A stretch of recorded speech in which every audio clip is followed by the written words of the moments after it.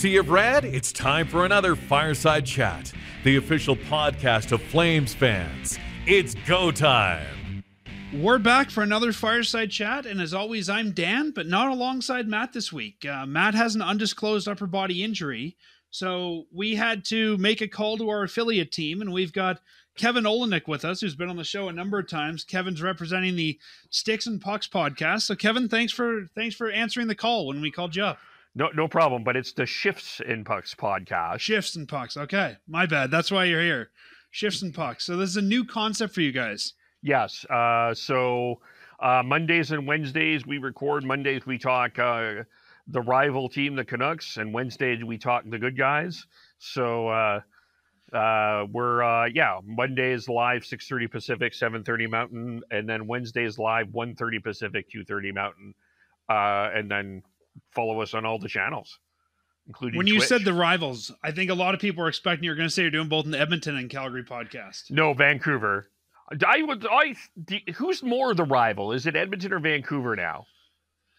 I don't know. I mean, Vancouver's not a very good team, so I feel like while there's you know fan rivalry there, I don't know the rivalry on the ice exists. But I would say that in the last couple of years, the Battle of Alberta is really heated back up. I don't know what you think, but I feel like we've had some really good Battle of Alberta games the last couple of years. Remember the goalie fight Yes. with uh, Mike Smith, and you know, so I feel like for years there, I don't feel like the Edmonton games were all that interesting, but I feel like they're getting interesting again. Yes, they. Yeah, that's fair. Yeah, the the Canuck games are not as interesting anymore. I mean, um, I think the Canucks came in there as the main rival for a while when Edmonton was really terrible, and now I think the Battle of Alberta is heating back up.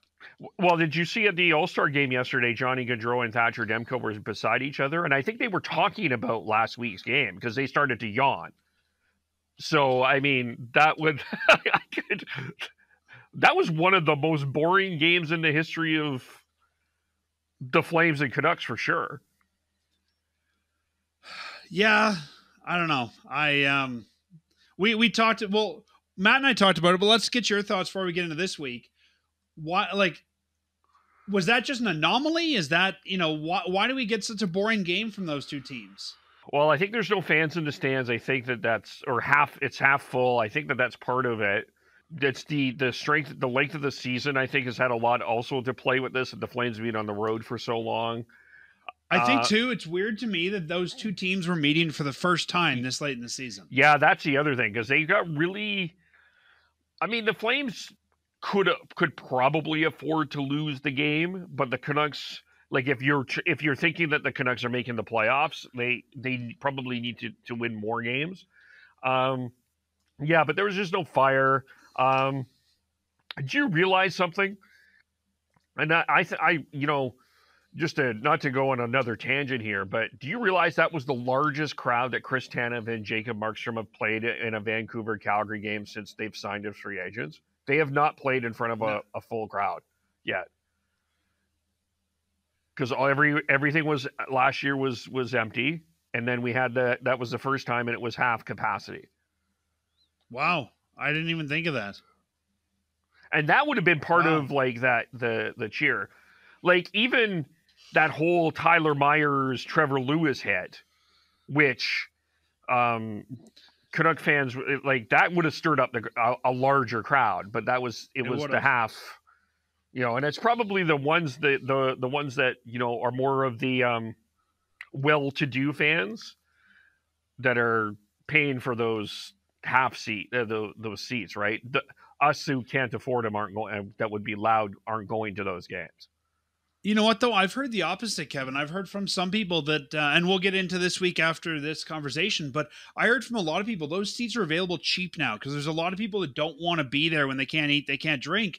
So I've heard on Twitter from a few people that said I could not normally afford to take my kid to a Flames game, but now I am because I can get the seats dirt Hmm. cheap on eBay on places like that because people don't want to go if they can't have their beer, if they can't have their nachos, that sort of thing. oh interesting okay hmm, i'm So- surprised Yeah, I never I never thought of that until somebody on Twitter pointed that out on our Twitter account saying, you know, I took my kids for the first time because I could get four tickets, I guess, for a hundred bucks because people were almost giving them away. right and then i get So, do you want yeah, to yeah, some I- of the do you want to sit beside strangers kind of thing and Yeah, well, and I don't even know if you can. Like, I don't know how they're spacing them out, but I don't know if you can sit beside strangers or if there's, you know, if they make sure there's holes there. I I don't know how they're doing it, but uh, you know, with any with anything, there's a silver lining. Yeah, true. Well, let's jump into the last week of Flames hockey. The Flames have played their last two home games in what seems like forever. These will be the uh, last two home games before they have seven at home, or sorry, their last two road games before their big home streak. I should say is uh, two away games for what seems like they're at home forever.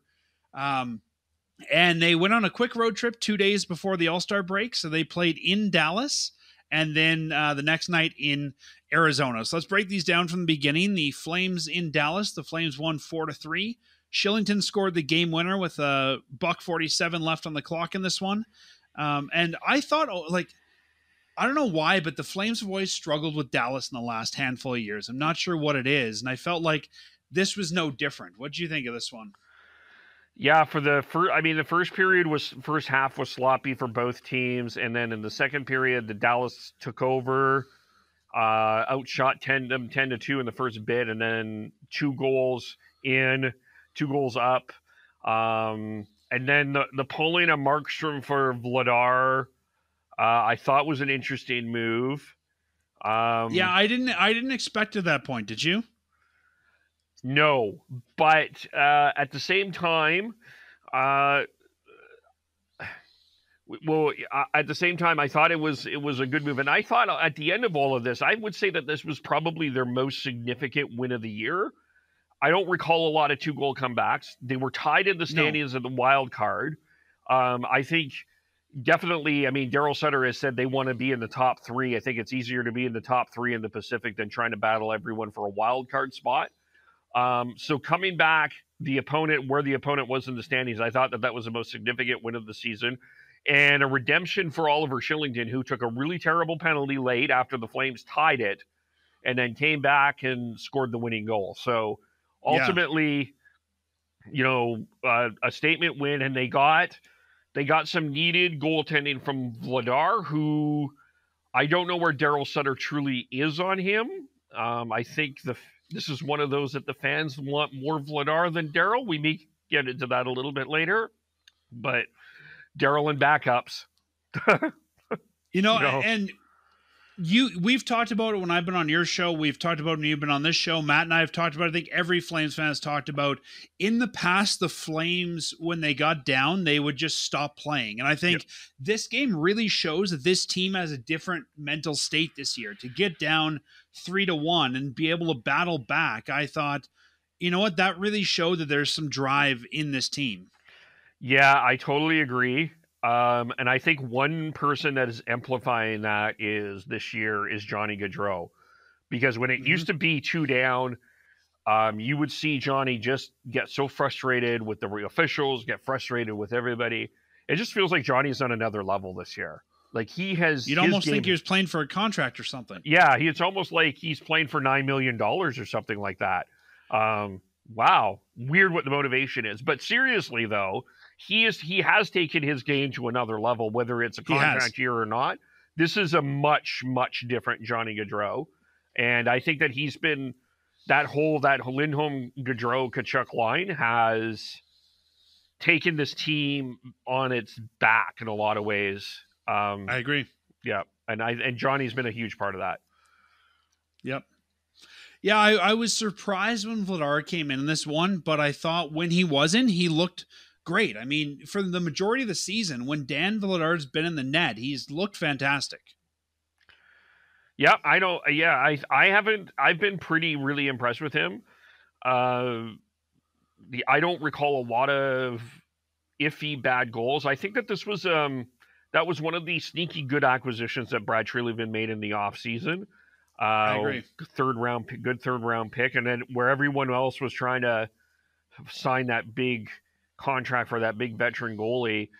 Um, they found Vladar. That was some found money there. And I think, yeah, he's been mostly solid, but I still don't know. I don't know. I don't feel like Daryl Sutter is on. If Daryl Sutter was sitting with us and we were talking about Vladar, I don't know if he would necessarily agree. I agree. Let's uh let's swing back around to that when we look at our midseason review of the team. Uh, the next night, the Flames were in Arizona. It's still weird for me. I still want to say Phoenix when I talk about this team, but Arizona. Um, and they, both teams were on a back to back. That's not something you see very often. That both teams are playing the second game in two nights, so they're both equally tired. And uh, this one, the Flames won four to two. I thought in this one the Flames were very dominant in that first period. Uh, I thought the score could have been much higher after the first 20 minutes. Like I, I think the Coyotes were lucky and their goaltender looked good to keep the Flames to two goals in that first period. What'd you think? Yeah, they were getting Vasha checked for most of the game. I mean, like so many shots. Um, poor Lindholm, he had like four opportunities before he could finally pot one in. Um, uh, yeah, the Flames were were completely dominant in this game. Um, probably mostly from pillar to post. Um, I thought the, the interesting decision.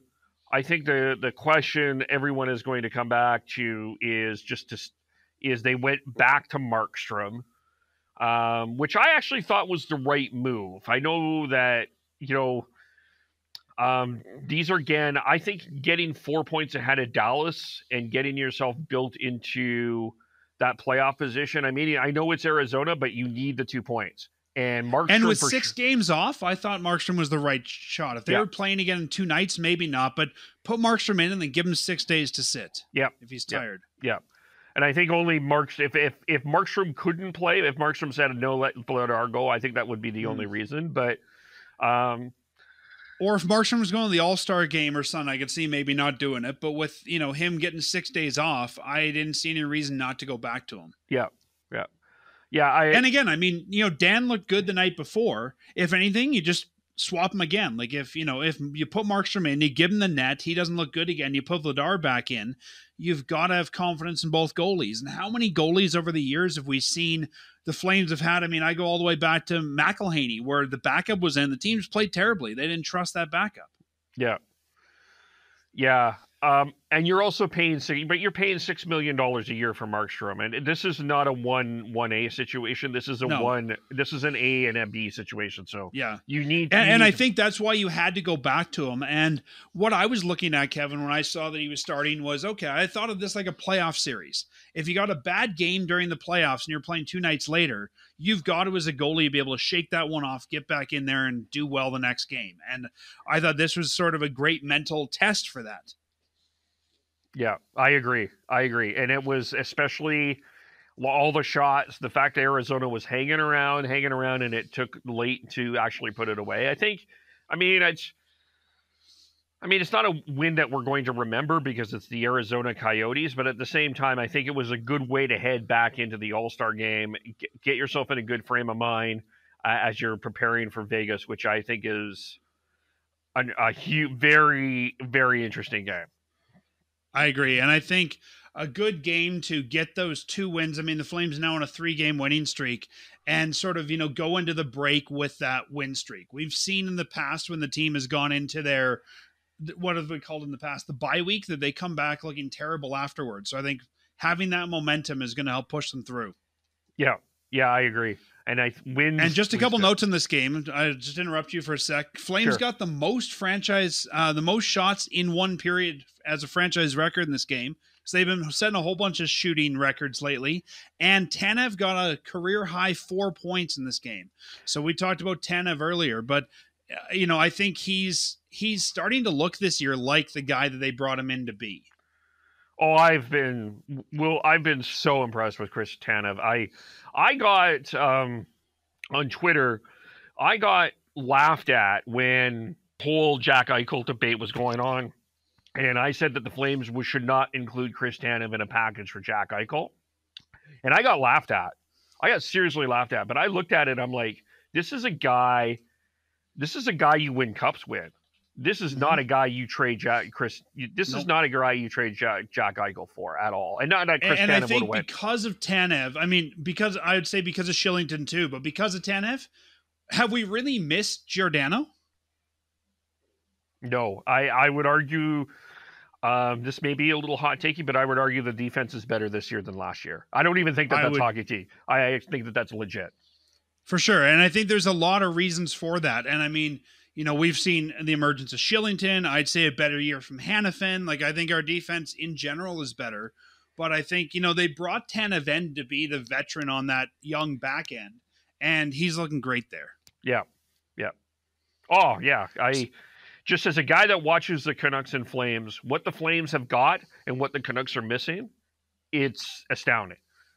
You know, and I think the fact that, like you said, it is a better defense. I mean, you know, we can put Zadorov out there and it doesn't damage us too badly because we have such a strong five guys around him. No, uh, yeah, that's true.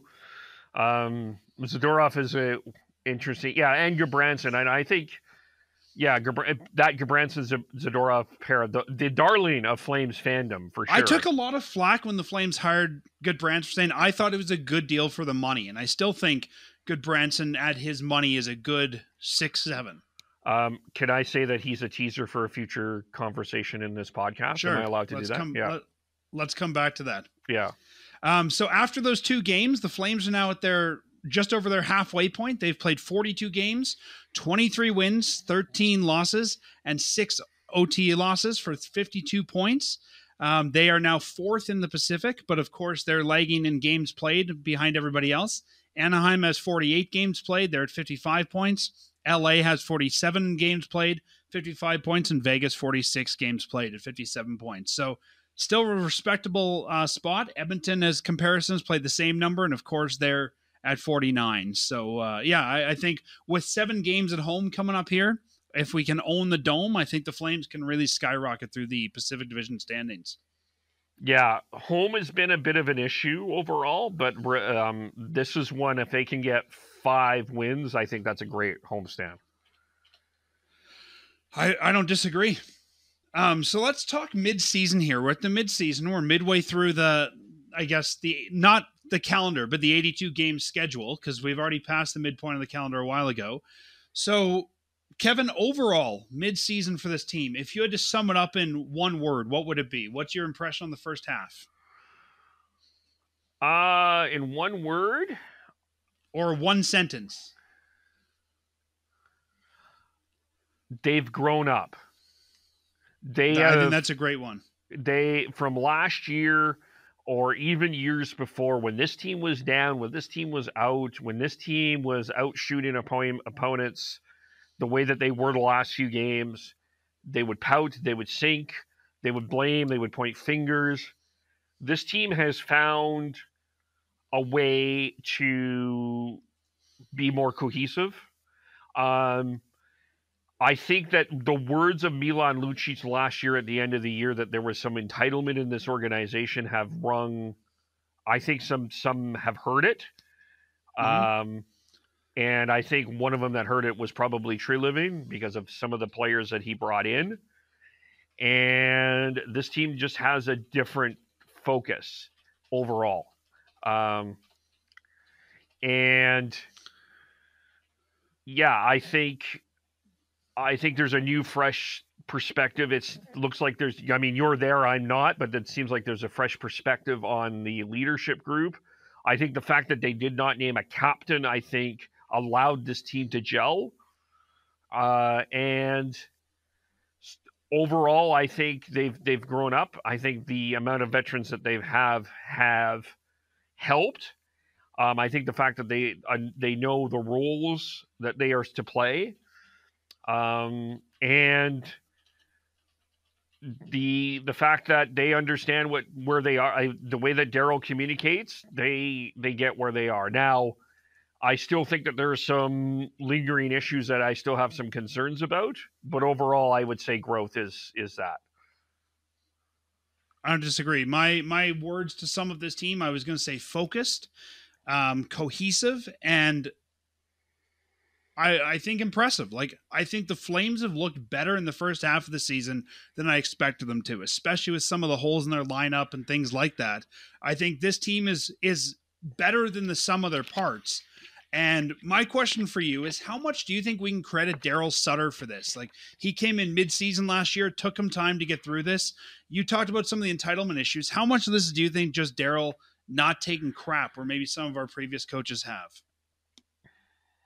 I think huge. I think um, there's a couple of things that I think happened. I think um, and maybe I'm wrong, but this has sort of been my observation here. As I think that Daryl, I think the organization had a higher impression of where this team was than Daryl did when Daryl got in. And once Daryl got in, um, I I think he wanted some. I think he expected some things that weren't. He noticed some things, and I think in a sense, he's taken a lot of charge of leadership. Like for example, um, he was the one that went after. He was the one reportedly that went after Erik Gudbranson. He was the one that reportedly went in after Trevor Lewis. Um, I'm not saying that Tree is not in charge, but it really does seem that Daryl is putting his his put his stamp on the team.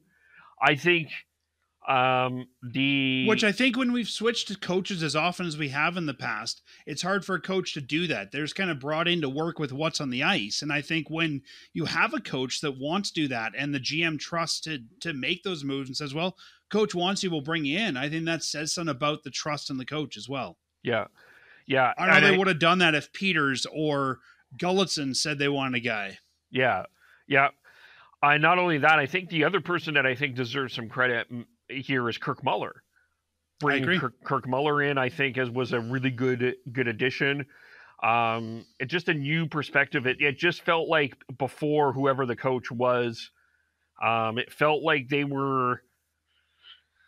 Uh, they didn't feel like they were in charge. Um, it felt like they were coaching to advance. Daryl's in charge, and it, it, it was clear from the moment. And I think the players respected that. Um, and I think they've listened to it. The other guy, I think you mentioned Muller. I think another guy that doesn't get enough credit is Cail MacLean. I mean, we saw this with Ryan Huska. They brought him in from the farm because he knew a lot of our young defenders. Yeah. And I think Cail MacLean, being the head coach down there as well, he you, he works more with the forwards now. But I think again, he knows a lot of those young guys. I think you know Ruzicka and Dubé and some of the guys that were down there. He knows how to work with them and knows what motivates them. And so I think that's part of the reason the forward core is doing a little bit better this year as well. That they've got someone who already related to those players. Yeah, and I also think, um, and I mean, this has been, I think, a, one of the year-long debates between Flames fans and Daryl is, and I mean, is the idea is I think just just because you are a young high draft pick doesn't mean that you get an opportunity in the National Hockey League. Um, you still have to earn it. I mean, yeah, and I th- I think even more than just not getting a, a you know a shot in the NHL doesn't mean you're going to be in the top six. Yeah, and I think yeah, there's I think there's been an expectation like uh, with some of the players. I think there was an expectation that they would be in the top six, top three. Um, I think just looking at the way Daryl's utilizing our centerman shows that. I mean, Lindholm, Backlund, Mangiapane's been a third line center, or not Mangiapane, Monahan's been a third line center for most of the year. I think right there we might be seeing some of that. I'm entitled to this spot. No, you're not, son. Yeah, and you know we've talked about this. Maybe uh, I, am going to ask it because we talked a lot about sure. Giordano not being here. You know, I know that everybody like Sam Bennett is having an awesome year in Florida. Please don't get me wrong, and I know that you know, you know, there's some revisionist history about what they could have got for Sam Bennett or not, but is it actually turned out to be a benefit for the Flames that Bennett's not here? I was never all that high on Bennett. I thought Bennett, I mean, you know, I don't look at the ceiling. I didn't look at the ceiling on him. I looked at what we actually saw and what we are seeing on the ice. He was taking too many dumb penalties. I think he put the team behind too often because of that, because he'd take some dumb penalty we'd have to kill off. And yeah, I, I, think in the end, I think we were able to replace him well, and I don't think we're missing him. I don't know if I'd say we're better off without him, but I always look at are we missing the guy, and I don't look at this lineup and say, "Gee, I wish Sam was still there." Yeah, I, I agree with you. I agree with you. Also, um, with the team, I think if we look at the way they built the lineup, that's an interesting question, Kevin. They would like to use Sam Bennett as a center. So if you look at it now, I mean, if we look at the centers, he doesn't replace Lindholm. He doesn't replace Backlund on two. He doesn't nope. replace Monahan on three. Nope. I don't think that he would have been happy being a number four center. So I think looking at the way that Daryl's utilizing this lineup, he probably would have moved anyways. Yeah, I agree. I agree. Even if he wouldn't have asked it, I think you would have had to have moved Sam Bennett. And he's one of those situations where I think he's a better fit in Florida, but yeah. at the same time – And we Uh, have to remember, I mean, I've heard a lot of people say, like you said, is well, they could have got more for him he's doing well. That just because he's doing well there doesn't mean he would have done that here. I mean, we've seen players that go to a different coach, different system, different line mates, and they exceed in that scenario where they wouldn't have in the past. The Flames have had guys come who've done that. Yeah. We've had guys go who do that. I mean, that's just part of having 32 teams. Yeah, exactly. Like look at Milan Lucic. Leon Lucic wasn't a fit in Edmonton, and partially because of his own. I think partially him, but I think he's been obviously a better better fit for the Flames and what he's needed to do. for sure. Um, next question for you is: We talked a little bit about Dan Vladar earlier in his uh, first half of the season. He's played in ten games so far. Um, let me just get the exact record up so I can. He's played ten games. He has uh, six wins, three losses, and one overtime loss for a uh, .911 save percentage right now you were mentioning Daryl Sutter maybe not having confidence in him as the backup. What do you think we see from Vladar going forward? How many starts do you think he's going to get in the second half? And I don't believe he's had a home start yet. If that's, I I'd have to check. I want to think I, off the top of my head. I think he's had one. Um, okay, so uh, let's go through this. I think I, th- I I think Markstrom gets the Vegas. I think Vladar will get one of Toronto Islanders or Columbus. Um, I think I- could see him getting uh, one of the Winnipeg, Vancouver, Minnesota games. Uh, I could see him getting one of those. Uh, heading into Would you put him in against Seattle? no, I would put Markstrom in against Seattle. Uh, that's going to be a huge. That's Geo's return night. Also, That's that's that's, going to be a that's going to be an emotional night, and there should be more fans in at that point, or we're get, getting Like I, I think right now we've got two sets of back to backs this month, but we've got a lot of hockey to play from here on out. And I think you're going to have to see Dan Vladar play more if you think that this is a playoff team. You can't burn Markstrom out. It's not like in the past where we've been struggling to make the playoffs and you play your starter to get there. I think Mark. I think Vladar is a capable backup. I think you've got to be seeing him. Let's just say one in every three games on average. I think you're right. I think that's what the I think that that's what they'll probably do up until the trade deadline, and depending on where they are in the playoff race, I think they're going to go all all the time until they clinch. So uh, I, I think that's also up to Dan Vladar. Like we saw that the coaches had a lot of confidence in him, I think, early, and they gave him more starts than I think we all expected. And we heard Daryl Sutter talk recently about how last time Dan started, he didn't look good, and so he hasn't started in a month. I think really Dan Vladar's play is going to be dictated on his own performance, and if if he looks good, I think Daryl's going to go to him more often, so would even you? after the deadline. Yeah, I okay, but uh, okay. So Vegas, I think we know that's Markstrom, right? I think that that we can conclude conclude that. Do you play Markstrom back to back Vegas TO? I was going to ask you that. Your next three I think- games isn't against a, a Western Conference opponent. So there's two ways to look at that. There's you're not losing points to an um, to a, a conference rival if you lose, but that's also two points that you can gain over someone else that you may not be able to. But that's true of every game. Yeah, but I mean, it, you definitely want to make sure you got the Vegas and the Anaheim game. Oh, those are yeah. those are the two you absolutely want. Like you, you want to win every game, but So let's go through this schedule then for February. So Vegas, Markstrom. I think this team will go Toronto, Markstrom. I think that it, it, depending on what the restrictions look like, I think they can. They're going to pack the house as much as they can for Toronto because Toronto's always a spectacle here in Calgary, and I think they're going to want to put Markstrom in for that one. I'd play Vladar against the Islanders. I would too. I would play Vladar against Columbus. Uh, but then at that point, you've got four days off, so That's true, but I don't want to play Markstrom. Like if I'm looking at those two games again, if we're talking about what you're talking about, I'd rather play Vladar Columbus and potentially give up two points to Columbus than give up two points to Anaheim. fair. Yeah, so Markstrom's definitely Anaheim. I I agree with that. Yeah, I just and then if you're going to play Markstrom Seattle there, I don't know if I'd want to play Markstrom all three of those. Like I think you almost go Vladar Markstrom Markstrom Seattle. yeah. I, the games I would, I think I would give Vladar for sure. The Islanders, Columbus, Winnipeg, and maybe I'll be controversial. Uh, depending on what Markstrom wants, the Vancouver game.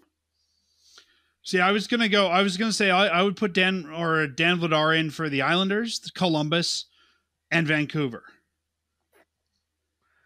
I think you know two game road trip. It's not a long road trip. Um, I think you, you know, and again, depending on where Markstrom's at. If you put Vladar in for that Vancouver game, then Markstrom gets four days rest between the Winnipeg and the Minnesota game. Yeah. Yeah. And then I think when we get into March, I mean, we won't even go through that. There's so many games in March. I think you're going to see Dan Vladar play a lot more in March and in April. You have to. Yeah. Um, well, then there's there's there's a good section in the early part of March before the trade deadline that you can get lots of Vladar in there. Um, yeah. Yeah. Yeah. I mean, you know, you've got we've got two games against Minnesota here, the 26th of February, and then again the first of March. So maybe you play Dan in one and not the other. I've always thought when you're playing two teams or a team twice so close, you want to give them a different look every time. That's always kind of been been my thought because they just know they just played you. They know how to score on your goalies to give them a different goalie the second time. I think yeah. you could play Vladar in Montreal. I think you could play Vladar Detroit. I think you could play Vladar Buffalo. Like there's a whole bunch of games there in March where I think they've got to get Dan Vladar some starts. Yeah. Especially if they see this guy as a long term solution. If they see him as a one year backup, fine. Don't don't worry about it. But if you're trying to get this guy as your long term backup until Dustin Wolf, I think you've got to give him those starts and let him work through that. I'm with you. I'm with you. But you know, because you can't uh, you can't play Markstrom, you know, kind of every game, even after the deadline, Kevin. I think if we're clinched at the deadline, I think you've got to start playing Markstrom less to get him ready for the playoffs. Yeah, well, yeah, I, I yeah, that's what I said. Clinch until they clinch. But the and it's also going to depend on how Markstrom wants to feel going in because I mean, yeah, um, you've got well, there's going to be uh, it's you got at the end of the year you got that three game road trip because you got Nashville, Minnesota, Winnipeg, and then yeah, got, earlier that month you've got the L.A., Anaheim, San Jose, Seattle trip. Yeah, I could see two games for Vladar there. Um, and but again, that depends on where you're at with LA and Anaheim too, because they're the ones that are battling, and San Jose is sneakily in there as well. Yeah, um, yeah, and I mean, you know, I, I don't want to start calling guys up from Stockton if Stockton's still looking as good as they are now, because I don't want to disturb their rhythm. But I think if Stockton, you know, is I don't know what their season looks like, but if Stockton's done by then, I could even see Wolf getting a start on that last road trip if yeah, I if they're clinched, I I'd be open to that. I I think leave be... Markstrom at home for maybe the Chicago Nashville trip. Take Vladar or Wolf and let each of them play a game. Yeah, the thing is, I think Nash. The one thing is, I think Nashville's going to be battling for the playoffs. Chicago, not so much, but I think Nashville is going to be in a playoff spot there. So, and you know, I um, think any if we look back at any really good team in the last couple years in the playoffs, they've had to use more than one goalie. So I think you've got to make sure that Vladar is ready, even if it's midway through a game. It seems like every team I can think of has had to use at least two goalies. Yeah, and let's not forget Markstrom does have a little bit of a hist- injury history. So I mean, we're yeah. we're touching wood here that Markstrom is going to be he- healthy, but and that's uh, also why I don't want to overwork him. Yeah, and I also I I think it's important to get Vladar some starts at home. Like I, I really do think that that is a that is an important uh, important thing for him to get used to the that Saddledome ice, the Saddledome boards, Saddledome glass, all of that. Um, I think that's that's also important for him to get. So, so he's played ten games so far, not necessarily ten starts, but ten games. Do you think it's reasonable to assume he plays ten more at least, and he's got twenty games this season? Yeah, that's my thinking. I think I I would say he we, we see him ten more times. Yeah, I think that's fair too. I don't necessarily think 10 starts, but I think if you're looking at an 82 game season, I think he'll get between 10 and 15 more appearances. Yeah. Yeah. Uh, I'm not, I don't know if I would say 15. I could I would say between 10 and 12 would be my number. The only reason I'm thinking 10 and 15 is I could see if after the the deadline we're up say 5-1, swap goalies just to get Dan some time. Yeah, I know, but I, I it, yeah, I think this is will have a lot to do with Markstrom and what LaBarbera and Jordan Sigalet, I think too, and um, how that sure. relationship kind of sinks in as well. Um, yeah. Um, well, talking about Markstrom, Markstrom's now three shutouts away from tying Kiprusoff's franchise records for shutouts um, in one season. We have what forty? Let's call forty games left. Do you think he'll get that record? Do you think he'll beat or tie the record, or not even get there? I I don't want to make that prediction. The only thing, the one thing I will say, is there are three games against the Seattle. Uh, what three games against the Seattle Kraken, and they have trouble scoring goals. So there's a pos. I do see a possibility of a shutout there. Uh, maybe uh, maybe Winnipeg. to me, there's enough games. There's enough games this year after the deadline that we don't usually see. I mean, we got almost a whole month after the deadline of games. I think there's going to be some teams that sold everything of value, and they're going to look terrible that last month. Yeah, I mean, you've got some. You got Montreal in there. I think they're. I mean, they're they're a mess right now. Yeah. Uh, Arizona, um, they're Arizona. Uh, Detroit's actually a sneakily good team. Um, you got the back to you got three games against Seattle. You got Arizona twice. You got Chicago, who might be selling off the farm. Uh, they're a bit of a dumpster fire. Um, and you got I and you got a couple games against Winnipeg, and I don't. Winnipeg has not been that strong this year. So no, I, I could see Chicago selling a lot of assets at the deadline. Like I think that could be a team that's decimated. I can see Arizona potentially being a big seller. I can see maybe Minnesota selling some of their assets. Like I think in the last bit of uh, April there, there could be some teams that are running on fumes or running sort of, you know, their second, third line as their first and backfilling AHL guys. Yeah, I don't see Minnesota selling their assets. I think Minnesota is going to be a competitive team, but Winnipeg, I think, is a very, very interesting case. Um, I, they're just on a backslide of. I could, I can even see Vancouver if they're not in there selling a lot yeah, we'll we'll get there. We'll get there. I think there's a there's a fascinating. So, I I I personally, and I'm gonna I don't know if my cheap IKEA desk here is wood or not, but I'm gonna pretend that it is. Um, I'm gonna knock on wood and say I I think I don't want to jinx it, but with three shutouts and the way we've seen Markstrom going this year, I think he's going to I think he's going to beat the franchise record. I think he'll get at least three more. I'm not going to make a prediction because I, All right. yeah, just because I don't want to jinx Markstrom. Sure. Well, if, if if he gets jinxed, you can blame it on me. Yeah, it's your fault. That one is on you. Yeah. There you go. Um, but you, you know, if there was a shutout, if, if, there is one place, let's let's be honest. The two games we would love to see a shutout, if there was two of them, would be the the two against the Oilers. That would be fun. Yep, I think I think the two against the Oilers, but I also think, I mean, for rivalry purposes, yes. But I think there's a lot of. I would love to see a shutout against Vegas because I think Vegas, the team we're chasing, like I think there's a lot of optimal games as a Flames fan to see those come. Yeah, April 14th when Jack Eichel is playing with Vegas potentially, that would be a fun, fun shutout game. There you go. Yeah. Uh, you you'd put into our notes here Blake Coleman. What do you want to talk about about number tw- number twenty? Well, I think we'll we'll get into this, but I this um I think because we will get into uh, disappointments and and surprises and stuff, but we talked about him on our podcast. He's I feel like he's been a little bit of a polarizing figure in Flames land because I think some people were expecting more offense from Blake Coleman. He got the big contract. Um, he's got a couple Stanley Cups with the Tampa Bay Lightning. Um, but I feel like his offense hasn't necessarily been there, although he, I mean, if you count posts, it's been there. I mean, I think he's had a lot of chances. But I, it's one of those situations where I think Blake Coleman does a lot of things really well for the Flames. And I wonder if you have been impressed with him or he's been what you've expected or has he under I guess it depends how we define under deliver. I mean, he's at 18 points right now. His best point season was 36, and it's when he was with New Jersey, not when he was with Tampa Bay.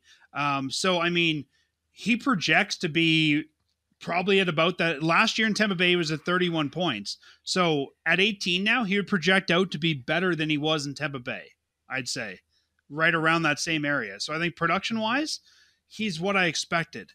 Um, in terms of disappointment, I think if we're just looking at the score sheet, yeah, maybe for what we're paying him. But I think Blake Coleman's brought a lot to this team. I think he's a he's been a better two way player, which we haven't had in a while. I think he's been able to move the puck really well to line mates. I think him and Backlund are making a great shutdown pairing. I think part of Coleman's issue is he hasn't had one line. He's been all over the lineup this year, and that's hard to get into a groove when you have no idea who you're playing with game to game. So I think he's kind of been what I expected, but I think we need to give him an optimal scenario to be better. Yeah, I mean, well, originally he was supposed to be on the Lindholm Gaudreau line, right? He was supposed to be that was the line, Lindholm Gaudreau and Coleman, and then he got suspended. Tkachuk took over, and that line has kind of rode ever since. Um, I've liked Backlund and Coleman for the most part. When Backlund, Coleman, and Mangiapane are on, the team has a really good chance of. Mm-hmm.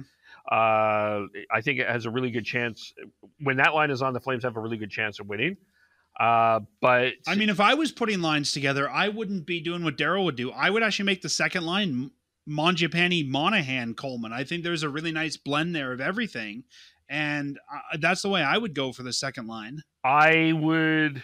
I'm partially with you, but the the one thing is every time we want to get we want to wipe away or say it's the end of Michael Backlund, he just keeps he keeps staying and finding a way to prove his worth. Yeah, but I, it's not that I don't think he's good. Like, uh, I okay, it doesn't really matter the number. I would go Mangiapane, Monahan, Coleman at either two or three, and then I'd go Backlund, Dubé, and whoever as the other one. I just like those pairings better. I think with Coleman and Backlund, you've got two two way guys together, and I want to spread those out in my lineup. So I would split Coleman and Backlund up and move one of them with Dubé. I think if it was me, I'd go Coleman, Monahan, Mangiapane because I think you get more offense out of that line, and then I'd use Backlund. Um, in this case, I guess Ritchie and Dubé, and I think then you get a little bit of grit, a little bit of two way, and Dubé becomes the the scorer on that line. I'm not opposed to that. I think that the those six are some almost interchangeable. I think. Um, I I don't I haven't minded Matt Backlund and Coleman together. Um, I just I mean. I just I think one of the things that Daryl's trying to do with Monahan is not put pressure on Monahan to keep scoring. I, I think agree. he's trying to do this. He's trying to get Monahan's confidence back, and and that's why I think putting Monahan with Mangiapane, Mangiapane can take that scoring role, and I think um, Monahan could be much more the puck mover. Yeah, yeah, I I could I, I see your point. I'm not I'm not opposed to it. Um, just, I think you know when you're asking if I'm disappointed by by uh, sorry, I don't mean to interrupt. Keep going. No, I'm I go ahead. I'm I'm thinking. I was just going to say, I think I would have been much more disappointed by Coleman as a top line guy. When I heard he was coming in, that was the plan. I didn't think that was the right move. I think that Coleman, part of the reason fans may have been disappointed is he's really been playing on, let's call it the third line for a lot of the year. And I think it's tough for him to show really well when he's, you know, further in the lineup. I think right now, based on the depth this team has, the second line is the right place for him with Backlund and Mangiapane. And I'm not opposed to what he's doing there, but I think if the Flames end up getting another winger, I think he could be sort of like Milan Lucic, where he's much more of a role player lower in your lineup. Yeah, I I mean, I, I, mean, Coleman was a third line player in Tampa Bay. I think we have to remember that. Uh, yeah, and and that's that's I guess that's maybe what I'm trying to say is I think we're maybe asking a little too much of him right now. So I, I think maybe we might be disappointed because we're putting him in a spot that's not ideal.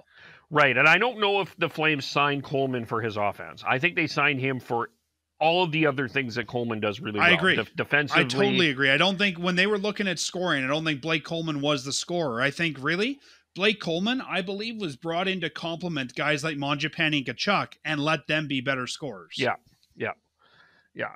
So I'm not overall. I'm not disappointed with Coleman. I think he's been what I've expected from him. Um, I think he's what we need him to be. Sort of like the old Batman thing, right? He's not the hero we deserve. He's the hero we need. I think he's been exactly what this team needs him to be. Okay, so looking back, would you have signed Coleman or Hyman? Coleman. Yeah, I agree.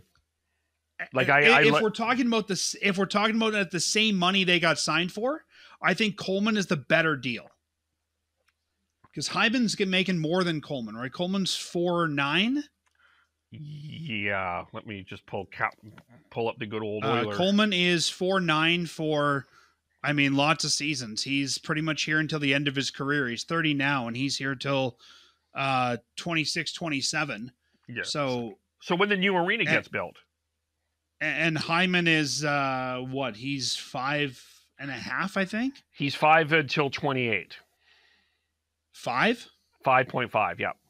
Okay, five five. So I think looking at the Flames and looking at some of the contract challenges they're going to have this offseason, I think Coleman at four nine is a much better deal. A because I think it'll hurt less to buy it out if you have to. But I think Coleman at 30 is a guy that can slide up and down your lineup as you need him to. And I think even when he's 33, 34, will be a much more serviceable player than Hyman. Yeah. And I think there's some versatility with Coleman. You can play him in on both wings and center. He can kill penalties. Um, and I'm not saying Hyman is a bad guy in the room, but I feel like Coleman brings something different to the room. I agree. And I think if we look at Coleman sort of being the Lucic down the road of that old guy who's just sort of your stalwart in the lineup, I can see by, you know, 25, 26, 26, 27, yeah, he might be a little bit overpaid, but he's going to be that veteran guy in your bottom six. Yeah. Yeah, and I so think I, I like the I think the Coleman deal is the better of the two deals. Yeah, I I would agree. I would agree. Um, and I think with Hyman, like what I mean, Hyman, I think I would have been expecting more goals because Hyman is more of a goal scorer than Coleman. But um, and I still think the Flames are missing that right shot. But I think ultimately, I think Coleman was the better choice. I think they're missing the right shot, but I don't know that Zach Hyman was the right solve for that problem. Yeah, no, I I mean, I think he needs. I think Hyman probably needs to play with a really good playmaker. And I don't know if the Flames have that type of center there. No. And I was about to say sort of the same thing is you know what? For every good shooter, there's two other guys there to help support him. And I feel like Coleman was brought in to be that support guy. Yeah. To me, Yeah. Kevin, I think he's sort of the modern equivalent of Jiri Hudler. I don't think Jiri Hudler was brought in here to be the scorer. I think he was brought in here to be the setup guy for some young forwards they put around him. And I also think this is part of. I think the other thing that Coleman brought in is is this, that sense of maturity that we we talked about earlier. He he knows how to win. He has two Stanley Cup rings. Um, Yep. and I And I if you want to go deep, and, and again, I think you know the real value for him could be in the playoffs. yeah, that's where that's where ultimately this comes down to with Coleman is is his playoff performance. That's where he'll get I- me making his money. I think you're right. Yeah. And, you know, I mean, if we look at his contract in rel- relation to the team, he's making four nine and Lindholm's making 4.8. So, you know, while we might be overpaying one, we're underpaying the other. But I figure between the two, you're, you're getting good value between those two. Yeah. Yeah. Um, who so far in the first half has been impressive to you? Who do you think's the the most impressive player of the first half? The guy that's really surprised you pleasantly in the first half? Well, the the first obvious answer we've talked about him already is Oliver Kylington. I think he's just he's he took the he took that opening spot there that was maybe made for Valimaki, um, and he he ran with it. He has I think after last season, a lot of us didn't even think he'd ever play a game as a Flame again. Yeah, I agree. I I agree. And he he solidified his spot with Tanev. He got himself on the second power play unit. Um, his skating is much better. I think overall that's the. I think we can all agree that's the most obvious one. Yep. Uh, now this is where I'm going to get a little controversial because I think some people are going to throw eggs, sticks, and things at the at their speaker. But It's I good think we're pre-recorded, so you can get out of the way. yes, I could duck here. Okay, so I'm as you're listening to this, I'm ducking. I think Eric Branson has been a pleasant surprise. I uh, look, Yeah, I I'd agree with that. I I understand that everybody like look I he this guy is not going to win you a Norris Trophy. This guy is not a top four defenseman. No one has ever brought that. Is there other players that you could have probably brought in, brought in that would have been better than Erik Gudbranson? Probably, but I Erik Gudbranson wanted to be here. I think that's a big thing. I think that he obviously has a presence in the room. He's not afraid to fight uh, which you know, I mean, maybe I'm a little old school. I still think we need that, and he's killed penalties. I think that that's been a pleasant surprise. I think he's done everything that the Flames have asked of him, and a little bit more. I, I mean, I- l- look, I'm not saying that Eric Branson is the best defenseman of all time, but I think he has done a lot better than I think a lot of people are giving him credit for. I think when he came in, a lot of people were looking at the role he played in Ottawa, where he played higher up the lineup, and maybe he wasn't suited for that. And I agree that if you were looking at him to be a top four here, I think we all would have been disappointed. But as a number six, I think like you, he's been a great number six.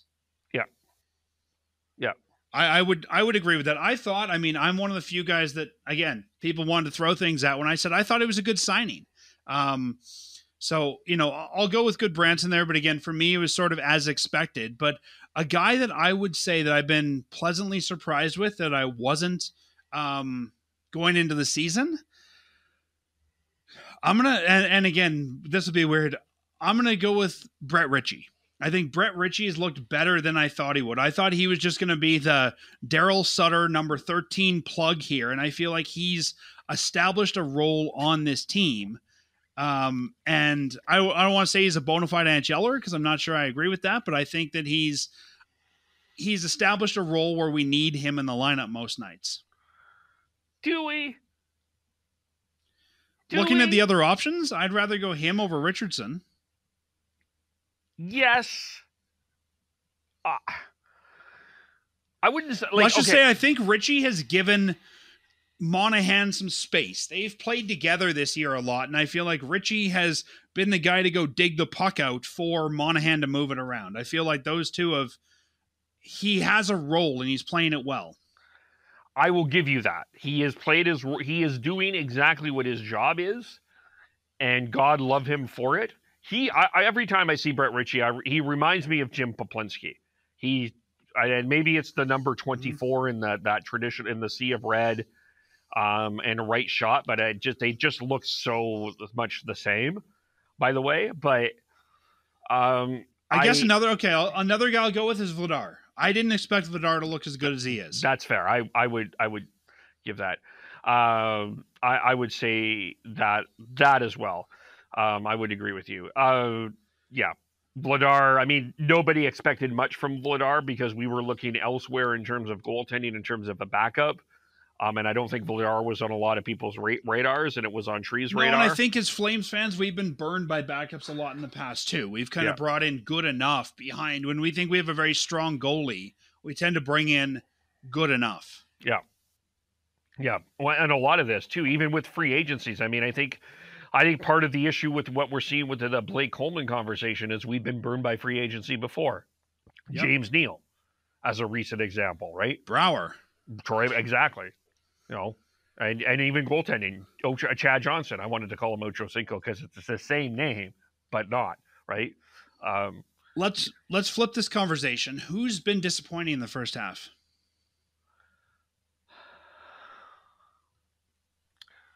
there's a couple guys I'm going to toss in here.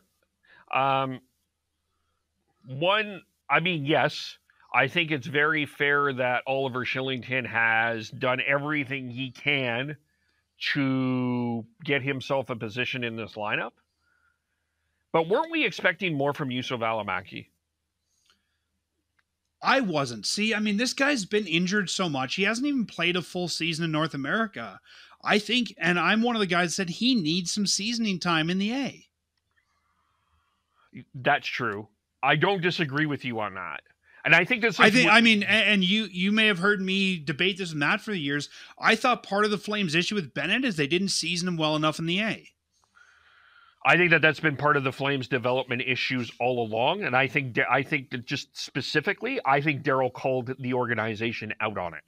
I really do. I think yeah, you and, and I think right now Valimaki playing in Stockton is the best place for him. I think we were all kind of surprised when he got sent down. I don't think anybody, including the organization, knew he was still waiver eligible. And as soon as they realized that they sent him down, or sorry, waiver exempt, um, I think as soon as they knew that, they sent him down. Like I, you know, when I look at the depth here on the lineup, I don't think that they were anticipating. I, I don't know. I, I think they anticipated one of him or Kylington to stick around, but I really think that the AHL is the right spot for him right now. Yeah, I, I don't like I when I watched Valimaki in the preseason, I I saw a guy that wasn't ready for the National Hockey League. Uh, not yet. And I and I'm not saying he's never going to be ready. I just don't think this is his year. And maybe even deeper, is this the organization for him? Is it a situation where he needs to be like Bennett and he would thrive somewhere else? I I, I do think that there is a legitimate. I, th- I think that depends on what you're looking for him to do. I mean, I think we can both agree Hanifin Andersson is the number one pair going forward. Yeah. So if then Kylington and Tanev is the number two pair going forward, is the best use of Valimaki as a bottom two guy? I mean, maybe mm. there's more value, like you said, as a to get other assets and go somewhere that you know he could play that. And I think there's some organization that would look at him as a top four guy and be willing to pay to acquire that. Yeah, I just I I'd wonder if we are overvaluing Valimaki though compared to some other teams, but I could see see a situation. I think I, I don't think anybody sees him as a top two, but I can see some GM looking at him as a young enough raw talent to be in their middle two. Yeah, a guy that they can develop to, to some depth piece. Yeah. Um, I mean, maybe a team like Ottawa, just tossing it out there as a as a potential plate landing spot for him. But I just I don't know that his best use here is bottom two. No, no, and then you have the question about where you're at with Connor Mackey. And has Connor Mackey passed Juuso Valimaki yet this year in terms well, of his development? And I think again, and Matt and I have had that discussion. I think you got to look at those guys when you say pass them for what position. I think Mackey's better suited to be a five six. I think if I was looking for a five six defender in our system next year, Mackey would be my guy. I would not bring up Valimaki for the top six. But if I'm looking for a top four, I think Valimaki's that top four. Like I don't think it's always just next up. It's for what position. Fair, fair enough. I can, I can see that. I don't, I don't think that Mackey's a top four in this organization, but I think he'd be a great five six. Put him and Gudbranson down there. I think you got a great bottom pair. So who's your top prospect defenseman in this in the in the system? With our weak defense, I think it's got to be Valley. Okay. I mean, they've still got the rights to Carl John Lurby. That's really your only other guy there. I think, you know, I, I think Poolman could be. I think uh, Poirier could be. But again, those guys both need some seasoning in the A. I think if we're looking at top prospect, I really think, Kevin, that uh, um, either Poolman or uh, Poirier are going to be the better defenseman down the road. But if we're looking at top prospect to bring up, I think it's Valley for the top four, and it's either Poolman or Mackey for the bottom two. Fair enough. Okay. No, I could I could see that. So I mean, to me, I I wouldn't say I'm disappointed by um I wouldn't say I'm disappointed by Valley because I think that's where he should be. Yeah, I'm I'm with you, but I think that there's there was always that expectation, and I I think I think among fans or in the organization. I think probably a little bit of both. I think the organization okay. had a higher expectation of Valimaki than when they had. I mean, he's a first round pick, so I think that that automatically comes with with more expectation. And I think the big thing to me when you're asking about Valimaki, he's been hurt so much. To me, I want to see what he is now. We've seen a lot of players that look good, got hurt, and were never the same guy. So I don't think we can make that determination until we see a full season of hockey where he's healthy. Yeah. I think in future player association agreements with the NHL, this may sound ridiculous, but I'd like to see more a more different a relook at how the waiver waivers work because I don't think that forward and defenseman developed in the same trajectory. I think it's harder no. to develop as a National Hockey League defenseman, and I think a waiver. I think that there's a legitimate argument based on what you're saying that you could keep Juuso Valimaki down in Stockton for two seasons. Yeah. Well, I think outside of waivers, you'd also have to look at the uh, AHL roster rules because right now they're allowed four players with 160 games or higher on the roster, including goalies. So again, maybe you have to allow more veteran defensemen at the same time. Yeah, something, something, yeah, around that.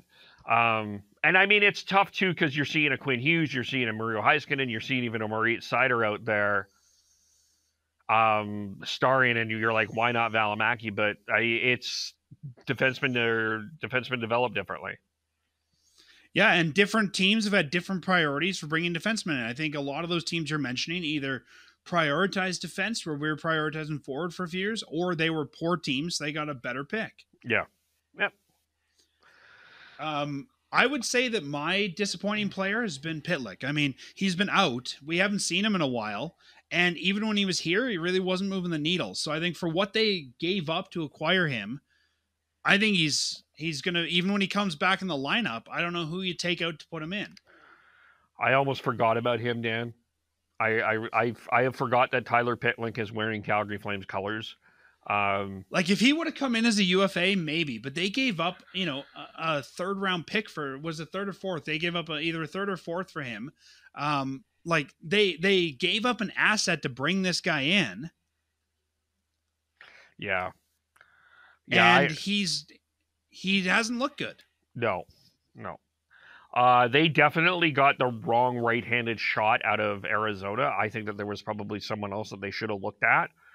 Uh, Technically, they got him out of Seattle, but yeah. Right. Okay, but that's that's true. He was part of that that the Kraken expansion. True.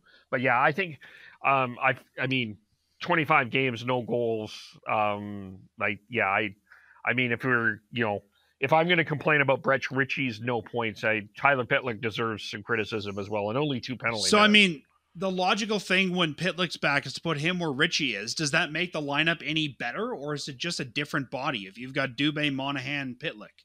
I don't think it's. I don't think it makes the team better at all. Um, do you take Lewis out? Like, where where do you fit Pitlick in?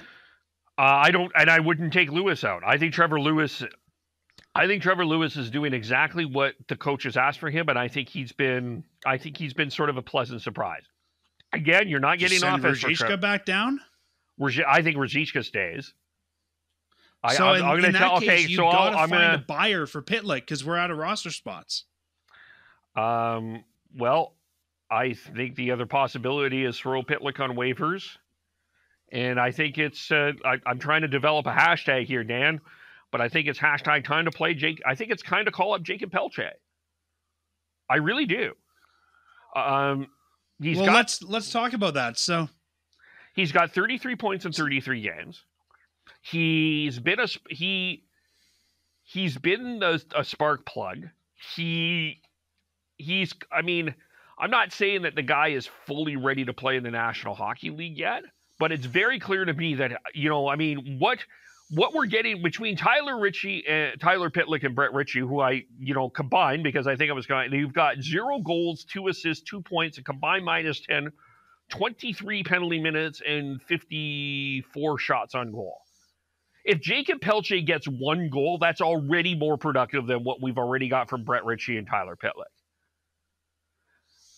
there is a possibility, yep. and I, I, you know, I, you know, Jakob Pelletier has the possibility to bring a Cole Caufield spark to this team, where you know he can bring some energy into this lineup, bring a bit of youth into this lineup. He might be able to get because because of his offensive ability, he might be able to get on a hot streak. And if you're playing him with a guy like Monahan, if you throw him on a line with Monahan, there's some there's some offense there. Yeah, I don't think you throw Pelletier on a fourth line. I think you've got to play him with Monahan, um, and on a Monahan Dubé or a Monahan Mangiapane line, and I think he can provide a spark. Um, do you do you think that playing with Dubé and Monahan is better development than playing top minutes in a very successful Stockton team? Um, like we haven't seen Stockton be this successful in a while. I think the big question that I've been asking is how important is it for these guys to learn how to win? And is there more developmental benefit to being the top guy on a top team than being a third line guy in the NHL? I think there's some things that he could learn from it, this experience that he could take. But back does he have to to learn those this year? No, but then again, why? Okay, because a lot of the asking prices, though, of the, some of the players that we're asking to get that offensive role for, including Jacob Pelche, are you wanting to trade Jacob Pelche? No. Okay, so to me, to me, I think it's the better. Why risk that Pelche asset to get a guy? I'm, I'm hope I'm not blowing an entire segment here when I'm saying this, but I, you know, I'll just put this in here. Why are you playing? Why trade Pelche? Why not bring him in to do what he, what possibly you're trading assets to get someone to do? That's- Because again, I'm worried, like we talked about with Valley and like we talked about with Bennett, that you're bringing him up too early. And the best thing for his development is leave him in the A and just don't make a deal that includes him. I think there's enough serviceable NHLers. I mean, if we look at what Treliving's been able to get at the deadline on the blue line, Derek Forborts and stuff like that, I think you can get a Derek Forbort on the forward side who's good enough to play on your third line without giving up Peltier. Mm-hmm. right? But okay, and I I do think the Flames need a defense. I I do think the Flames need a defenseman more than a forward. I've said that on our podcast. I'll say that here. I- Sure. So so then again, I think you know you can move for that defenseman you need without moving Peltier. I think a Peltier move's a hockey move, not a, a deadline, you know, cap or rental move. Okay, so you're you're you, just to tease. You're answering a question. You're answering a future question for me already.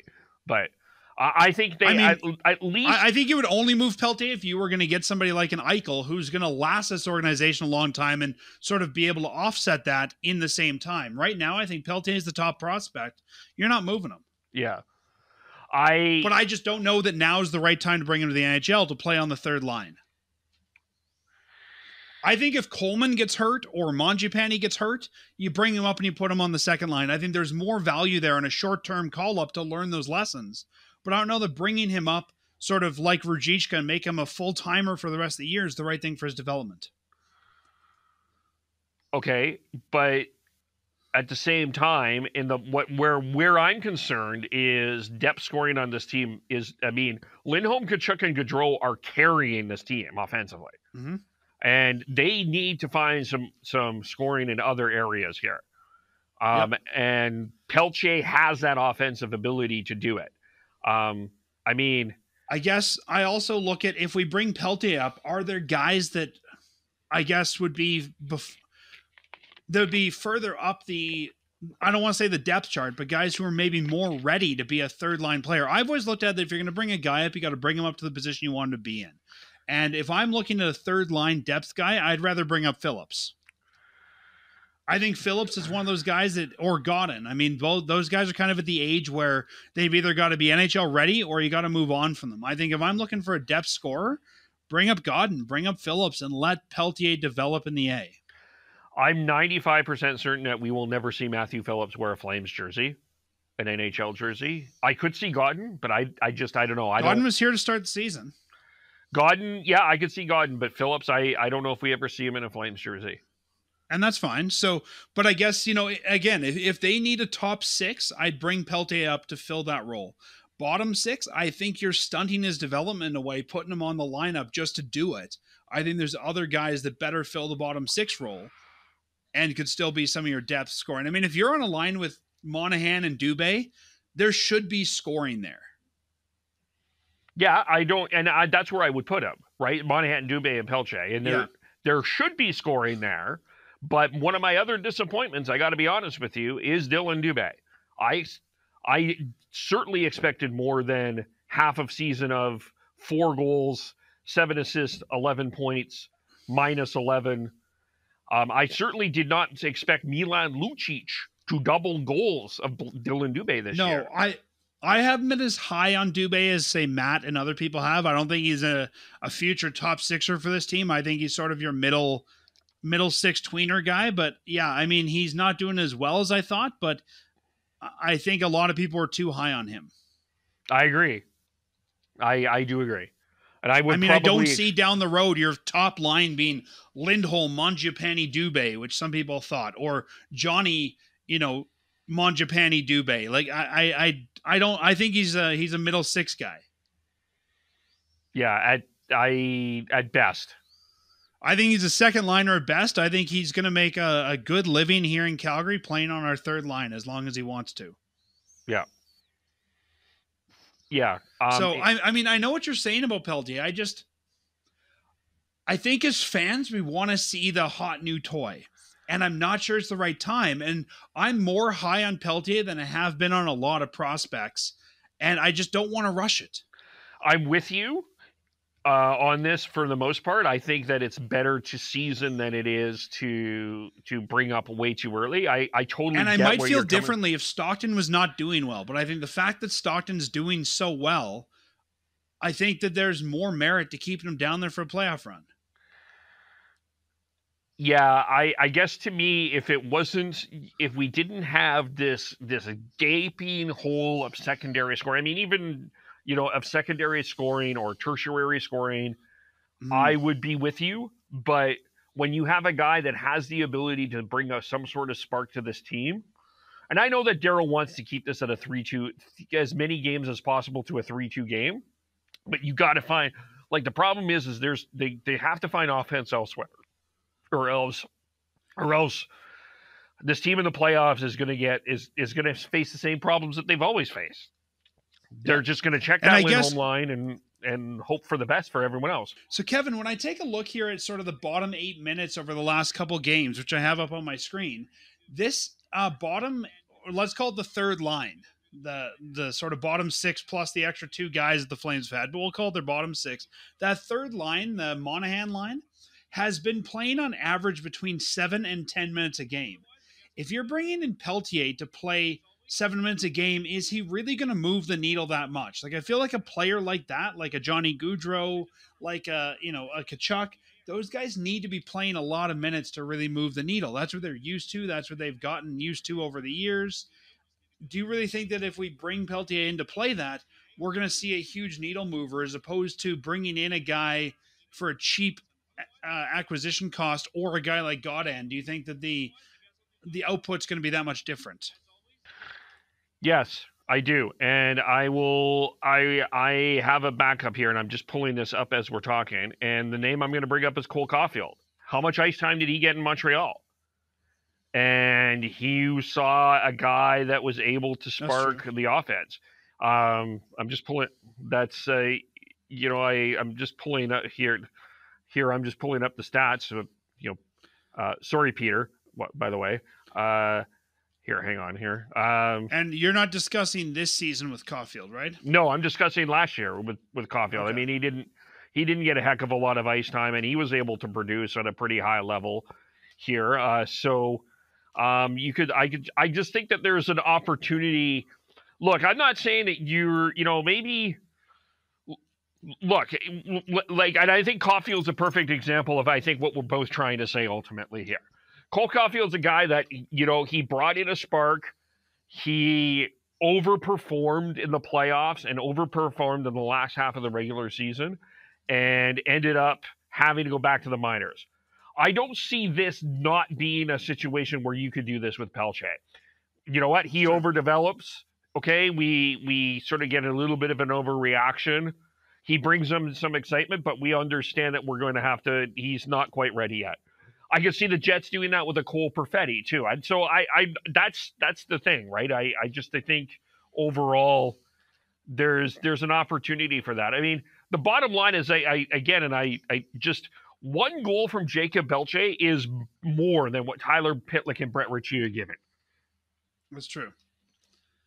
Yeah, I mean, let's just say I'm not opposed to it. I'm not arguing this saying we shouldn't do it. I think if the team does it, it's fine, but it's not what I would do if I was the GM right now. I think, especially with the success Stockton's having, I think I would leave uh, Peltier down there and try to maybe cycle some other guys up. I mean, like Ruzicka, I don't think was the first pick a lot of people would have had to come up, but he's done fairly well. I think maybe it's time to cycle some other guys through there and see if they can provide that offensive spark. Yeah, I I kind of get it, but I I just are you going to get that uh, that offensive spark from from Glenn Gawdin and Matthew Phillips?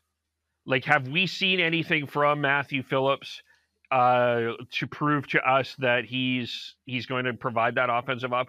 I think he's one of the top uh, point getters on Stockton right now. I don't have it up in front of me, but um, uh, but again, how much that's him versus his line mates, and I think that's the question that has to be asked here as well. How much do we need that guy to perform versus that guy to perform with Dubé and Monahan? And I think with those two guys, many of these names would work. Yeah, I, I, but I guess where we do agree is there needs to be an upgrade. Um, I think I don't think that at the end of the day that I I don't I think we can conclude Brett Ritchie's and Tyler Pitlick is not the answer there. I agree. I just I I don't know that the upgrade for the rest of this season, and if we look at it just this season, is um Zary or Peltier, or if it's going out and getting that rental guy. I, I don't think it needs to be a really high end rental, but I think there's going to be a lot of sort of third line plugger rentals available for a fairly cheap cost. Yeah. Uh, yeah, that's possible. Um, I and I, you know, I think the other thing though is is with this team is I do think we need like Andrew Mangiapane on the road has been awesome in terms of offensive output. We need some offense from him at home. That yeah, and we're also seeing Backlund, I'd say, in the last handful of games starting to come around as well. Yeah. Yeah. So I think part of the argument here is we have to wait and see, you know, how the guys that should be performing are performing come that deadline day. Yeah, fair enough. By the way, Cole Caufield, four goals, one assist, five points, I believe, last year. Lowest amount of ice time was 1059. So maybe a little bit more than what Monahan is, what the Monahan line would get. And highest was 1625, which he played against the Oilers last game of the year. So, um, you know, and, and I think the biggest thing in, in all this too is we know that Daryl Sutter favors veterans. I mean, yes. that's always been Daryl's thing. And I think, you know, we were talking earlier about Daryl's success here and, you know, even some of Vladar maybe not being seen because he's the backup and that sort of thing. But I think I almost feel like you know if we're gonna say that Daryl's the right guy, we've got to sort of trust that process. We can't say we want Daryl, but we only want this part of Daryl. No, but at the same time, you know, I think that one of Daryl's strengths. This is one of Daryl's strengths and one of Daryl's weaknesses. I mean, there is back in back in previous Daryl regimes, there were players that went long times without goals, and it didn't really seem to bother Daryl Sutter that's true. And I don't I don't know. I like I'm not asking for Daryl Sutter to you know make this a 5-4 game. I'm not that's not what I'm asking, but I I think I think there's a lot of things with Pelche that I just think does fit with what Daryl wants from a hockey player. I, I think he, I, and and maybe you know when I'm talking about Peltier, I'm not saying he should never be on the team. I'm just not sure if he should be on this year. That's fair. You know, I think he's a great prospect, and I think, you know, when we're looking at that shortage of wingers, I think that's a perfect reason why he should maybe make the team next year. I just don't know that he's the answer for the rest of 2021, 2022. Okay, well, that's fair. Let's so you, uh, let's. So what you're saying is you're not necessarily going to endorse endorse my hashtag play, play Pelche. Is that what I'm hearing from you here? I, I think it's uh I think it's a good hashtag, and I think a lot of people are feeling like you. I'm happy to endorse it, and like I said, I'm not against it. It just wouldn't be the move I would make right now. Okay, fair enough. So I, I think it's a great idea, and I want to see Peltier like everybody else, but I just I don't want to see Peltier here for the sake of seeing Peltier here, if that makes sense. Or oh. if Peltier is the only option, I think we're kind of screwed. Yeah, and let me let me say this to your point. I think that there has been too much of this desire to play young kids and try to prove the point that you can win with youth. Um, and I think that there's such an underrated value about veteran experience right now in NHL analysis overall. I, that's where uh, that's where and that's you and one I thing agree. I think the Flames did well this year with building their roster. I think that they went out and got vets like Lewis. They got vets like Gudbranson. They got vets like Richardson to fill those holes instead of bringing up a guy from the farm just to fill the roster spot. Yeah. Yeah. It's a lot harder to make the NHL than I think people think.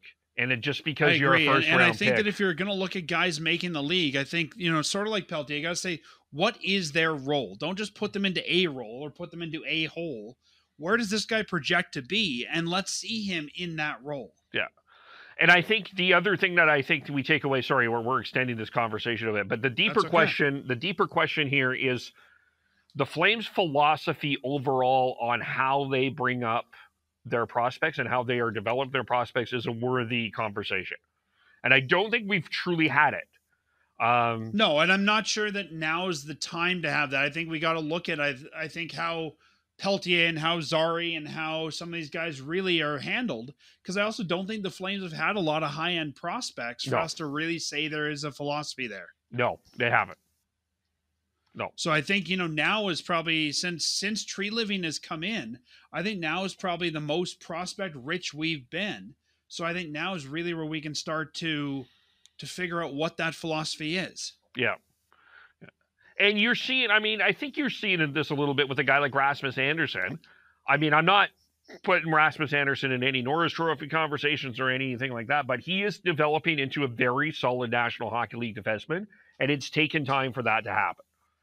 And I mean, Oliver sure. Kylington as well. I mean, there's we, I think there'll probably be some eventual revisionist history about Oliver Kylington, but he's developed into a National Hockey League defenseman. Yep, for sure. I, I totally Oh, agree no. with you. And I think, you know, a- and I say I've said this on- on the show a few times, Kevin, is not everybody can win the Norris. Not everybody can win the scoring title. There needs to be 20 guys in the team. And a prospect who might not make the top six, but is very valuable as a bottom six, there's a lot of there's a lot of value to that as an organization. Not everybody can um, can be a top six guy. Not every prospect that we bring in is going to be our scoring leader. Somebody needs to play on the third line. Somebody needs to play on the fourth line, and those guys are even more valuable now in our flat cap era. Yeah. So I think you know, as much as like you said, there can be some revisionist history. I think so often we want to see the Peltiers, we want to see those top guys, but you need the Gawdins, you need the Pospisils, you need those guys in your bottom six who are cheap, who are young, who can play that role sort of until they outlive their usefulness in a lot of ways, and then find the next guy. So even I think when we're talking about how we develop prospects, we need to take a look at not just the top prospect, but all the way down that lineup. Yeah, I agree. A holistic look is is very fair. Let's move on past prospects here and let's talk a little bit about. Um, I know you cover the Canucks, so I'd love to hear your thoughts on what Matt and I talked about last week with some potential Canucks players that the Flames have been rumored to be maybe in the mix with trades, and that's TJ Miller and Connor Garland. JT Miller. JT Miller, sorry, JT Miller. And it's weird because I have a cousin named TJ, so anytime I see the initials, I think about my cousin. Um, but yeah, JT Miller and Connor Garland. Do you think, first off, that those are the right players for the Flames to be targeting? And if so, what do you think a return would need to be? Okay, let's let's deal with Miller first. Um, so uh, Mike Gould put out there on Sportsnet 650 the idea of Pelche Dubé in the first round pick. So that was sort of Too The- much. okay. Well, let me let me go through this uh, Sure. because I, I disagree with you. Uh, and I'll, I'll explain this. Let, let's look at Pelche, and we've already had the long conversation about Pelche. But from the Canucks' perspective, they already have Niels Hoglander, which is a Jacob Pelche type. They already have a V- Vasily Podkolzin, a Jacob Pelche type. So I'm not sure Pelche is a true fit in that organization.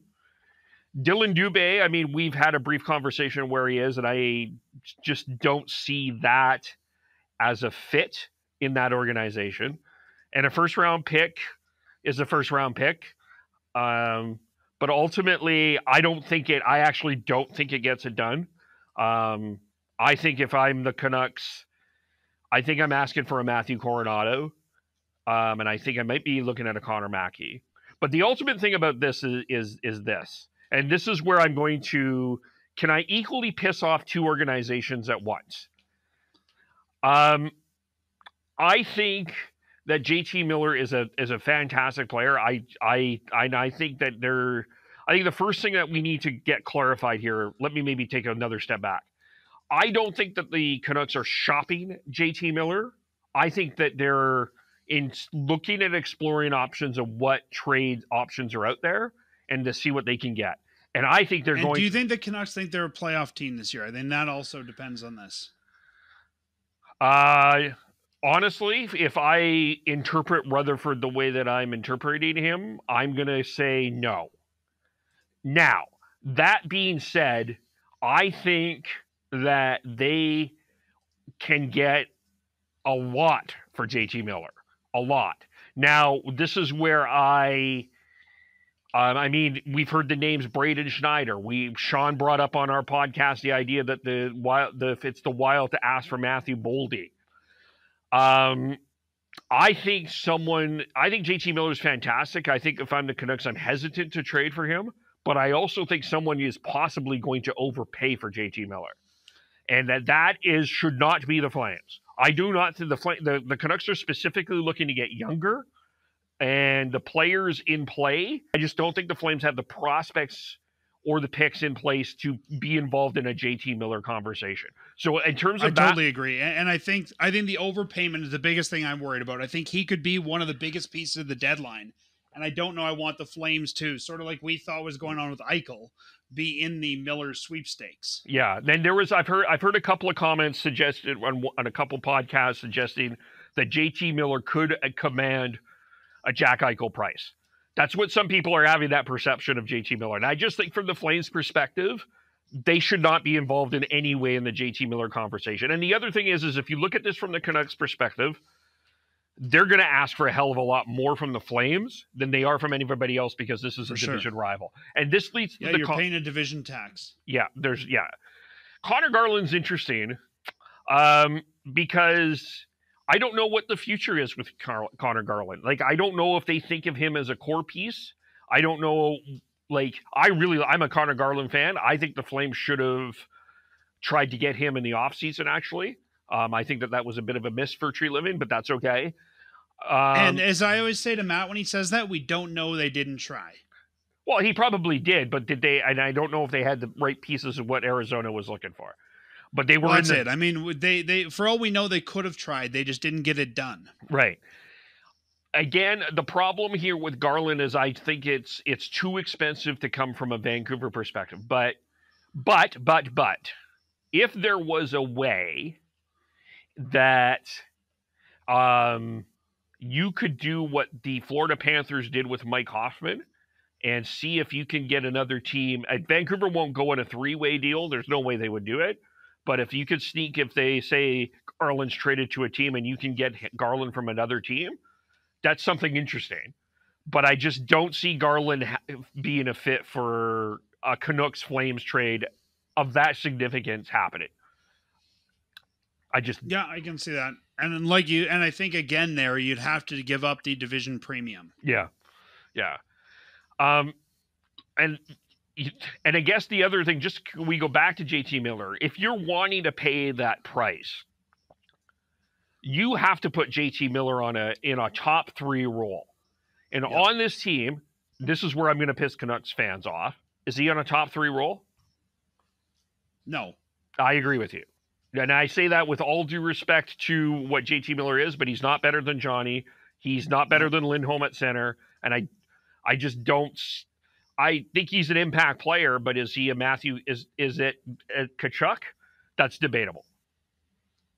And I see Canucks I fans think- throw- throwing eggs at me for that one, but if I was going to give up what I think it would take to get JT Miller out of Vancouver, I think I'd rather wait till the offseason where there's going to be a lot of other teams that may have other options for the same price. Um, I don't know that they necessarily need to give up that price this year for what they're doing. And I think that I just I think if you're going to make that big of a deal, you want time to make it, not a snap reaction for the deadline. Yeah, and we concluded in both of these cases that Miller and Garland wouldn't be a fit on our, our podcast either. So we've we, we I think it's time to kibosh both of those conversations because I don't just don't think they're going to happen. Then let's do that and let's move on from that. We have a fan question this week that was sent in through Twitter. Um, friend of the show, Steve Doherty at lots to say 21 on Twitter asked, contract for Johnny Gaudreau. Why don't we have it yet? And is it crucial to get before the deadline? Kevin, I'll start on this one if you don't mind. I've been passing a lot of stuff to you. Sure, take the I shot. don't know that the flame. I don't know that the Flames need to have the contract done, but I think they need to be reasonably be confident that it's going to get done. I think that you know if you're looking at if you're look, I think the Flames think they're a contender this year, so they're not going to move Johnny at the deadline as a rental piece because I think they're a contender. But I think if you don't think that he's going to be here long term, you need to be starting to make other plans, like bringing up Peltier or making a hockey deal at the deadline instead of um, a rental deal. So I think I don't think they have to have the number done or the term done, but I think they have to be reasonably confident that it's either going to get done or it's not and move accordingly. What do you think? Yeah, I I mean, it, it, would be nice to get this done sooner rather than later. Um, I'm just one of my concerns is is if if this gets to free agency, I don't think Johnny's staying. Um, I think they do need to get this done before because I think the Flyers and the Devils and a couple of other teams in the East are going to drive up the Brinks truck and drop a haul of money uh, down on him. Um, but I well, I guess so that I think that becomes another issue. Then, do you think that Johnny would be willing to sign here without seeing what those teams have to offer? do you think he wants to go to July first to see if there's a better offer out east? I think it's. I honestly think that this may have to everything to do with what happens in the playoffs. If the Flames are able to win a round or two, I think Johnny will. I think Johnny would might be more willing to stay. But if it's another first round defeat, and I don't know, I think they're, and he's, look, this, like, controversial or not, Johnny has taken heat in this market for his playoff performance. Um, and I wonder at some point if how long he's going to want he if if the Flames don't do it again, who are we going to be pinning this on? Johnny. I agree. So that I think it I think this will have everything to do with what happens in the playoffs. If they're successful, if he sees a future here, I think he can sign. Um, I don't know if we're going to get a dis. I don't know if he's going to get a discount. I think it's going to take. I think the Brinks. I think the Flames are going to have to bring up the Brinks truck here too. Uh, but um, I think that that's if not. But if not playoffs, I think. I think he goes. I think he goes out east. And I think to Steve's question, why has it not been done yet? I think that's part of the reason it hasn't been done yet either. I think both sides want to see what this season holds. I think Gaudreau's camp wants to see that, and the Flames also want to see that. Yeah. So we also had this discussion on the podcast. Who would you prioritize as a getting a next contract done, Johnny or Matthew? Coming into this season, I was actually of the controversial opinion that maybe it was time to move on from Johnny. Um, after this season, I would say, you know, Johnny's been a key guy here, but again, is this a one year thing because he's on a contract year, or is this some change Johnny under Darryl Sutter? So I think honestly, I would have to say Matthew Tkachuk because I think it's harder to bring in what Matthew brings to the team. I think you could go out in the summer and find, I don't want to say an, an equal player to Johnny, but you could find a somewhat suitable replacement if you had to. See, and I said Johnny because um, I think two things. I don't think that they the Flames have a that offensive dynamic dynamic in the system. And I'm I not agree. saying that Matthew Matthew you've got a year you can you can qualify him and you've got a year to deal with that. But I think if Johnny signs, Matthew signs. Do you think that if I think if Johnny signs, Matthew's going to have to be long term or short term? I mean, I th- I don't think you can afford to do both of them long term now. I think if Johnny signs, you're going to have to do almost a one or two year deal on Matthew Tkachuk just to get the deal done and wait and see what the cap does down the road. Yeah. Um, yeah, and I think that might. I wonder if that's beneficial for both both parties, right? I bet wonder if that's beneficial for Matthew. Then he can wait and see what the cap does everywhere else and see what his contract becomes. Yeah, and you know, I mean, I can see him getting a big deal for a year or two, but I also have to wonder. I mean, I think of all the top guys on the Flames team, Matthew struggled a lot last year. I think we can all admit that Matthew had a bad year. I don't know if you sign him, and this is why I think it might also be a one year. I don't know if you sign him based on this year's performance. I don't know if you pay Matthew based on potential. Like I don't know what that metric's going to look like for Matthew. I think you. I think a lot of what Matthew pay Matthew for is again comes down to playoffs. What does he do in the playoffs? Yeah, I don't disagree. Um, so Steve, I think you know some different options there, but yeah, I think playoffs are going to come down for both these guys and what happens in the playoffs. And I mean, you know, Matt has said it over and over on the show. If the Flames don't go deep this year, it might be time to start looking at potentially rebuilding this team because we're running out of years with this core, and that's where you might see one or both of those guys move on. Yeah. The only downside would be if you don't get anything for them, right? I think if you know that you're gonna not be able to re-sign one of them, I mean it's catch twenty two. You don't want to trade them at the deadline if you think you're in it. But if you're not, I mean, if, if the and the wheels aren't going to fall off the Flames at this point where they're out of the playoffs, I don't think they might not be number one, but I think we can both agree we're not going to see the wheels fall off in the next month. No, I think yeah, I I I think they should be a playoff team. They key should, especially yeah. in this division. Um, and I I think they should be a playoff team. I agree. So I think in that case you have to keep both of them at least for this year. Wouldn't you agree? Yes which is a little bit unfortunate because if we, I mean, if we know one of them is going to walk away, you'd want to get value for them. So, yeah, I don't know. I, I think you're either going to keep them both, or even if you don't know by the, even if you do know by the trade deadline, you can't really trade one of them because I don't think there's a hockey trade to be made right now. I think if you're moving one of them at the deadline, it's a rental. Yeah, yeah. I, I mean, yeah, it's uh, it, it's a hard. That would be a hard hockey trade to make at this point. It would. And that's why I think, you know, I don't want to rent them out because I don't think that we would get the return that would help us for the playoffs.